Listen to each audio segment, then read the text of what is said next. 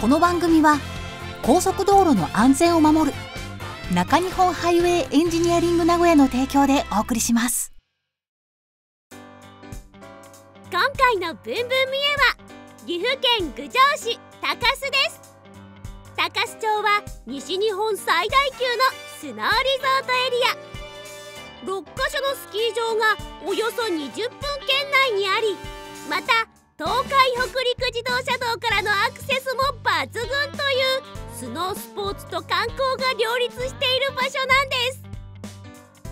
そしてそんなスノーリゾートをより一層華やかにする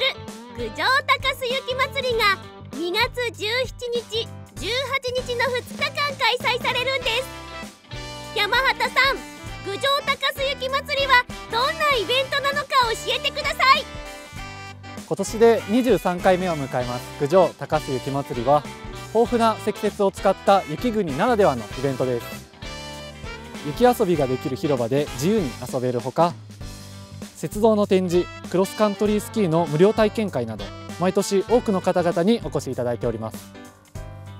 今年はどんなイベントになりそうですか？はい今年は2月17日18日に開催いたします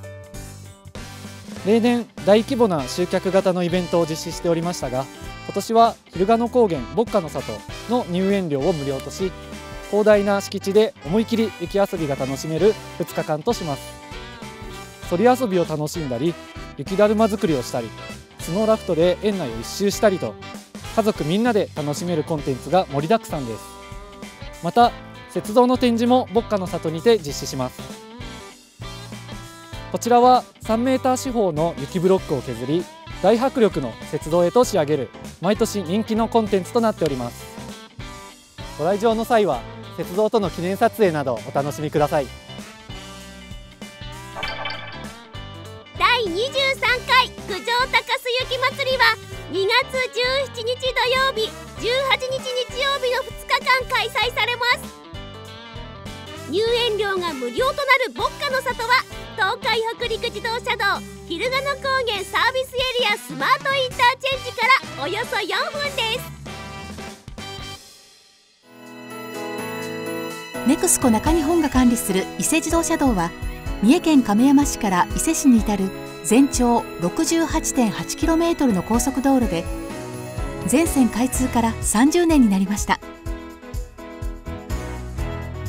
伊勢自動車道は安全で安心快適な高速道路としてこれからも地域の発展に大きく関わっていきます